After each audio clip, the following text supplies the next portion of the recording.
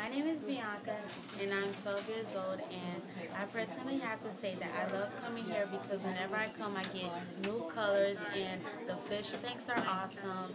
and it's just like a real nice place and everybody's nice and I really like it.